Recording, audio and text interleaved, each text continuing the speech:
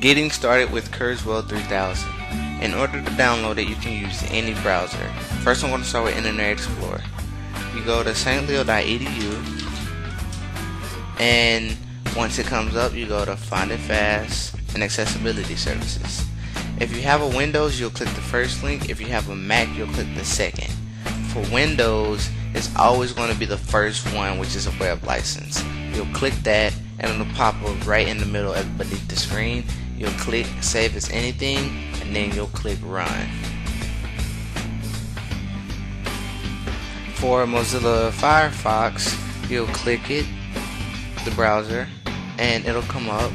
You do the same thing, go to stleo.edu, you go to Find It Fast, Accessibility Services, scroll down, Kurzweil 3000 for Windows. If you have Mac, click Mac, and then it's the first one, Web License and it'll pop up like this. You just click save file and it'll download up top at the right.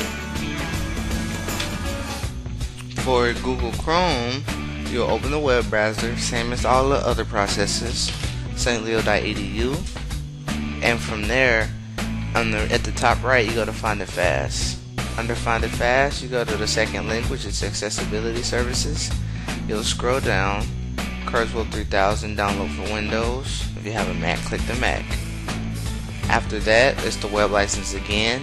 You'll click web license. With Windows, I mean Google Chrome, it automatically starts to download for you. So on the bottom, the bottom uh, left screen, you'll see it, and it's going to take a minute because it's such a huge file. And from there, you just sit and wait.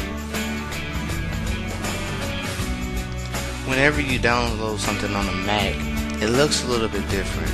So essentially when you click the link you'll you'll download it and then on the top right corner of your browser the little arrow will highlight blue and it'll start downloading and that's the way you download it for a Mac. After the download finishes since everyone has a different browser you will go to your folder you will go to downloads you will go to K3 web license double click that and soon a browser will pop up and you click run. From here, you click run, it'll start to install. So destination folder, the destination folder can be anything you want. Essentially, I just keep it in the downloads folder to keep it easy to know like you downloaded everything. Click install and the installation process will start.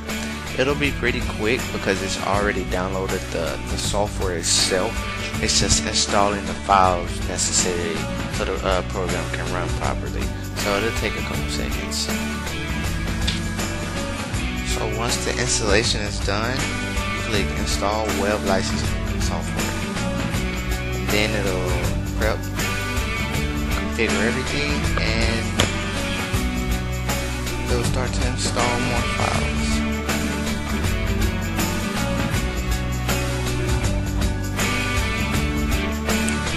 After this, you will install the uh, wizard for Kurzweil.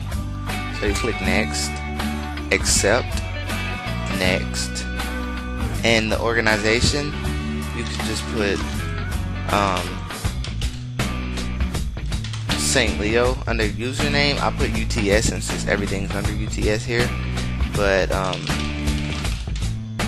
for organization, I'm going to put St. Leo University.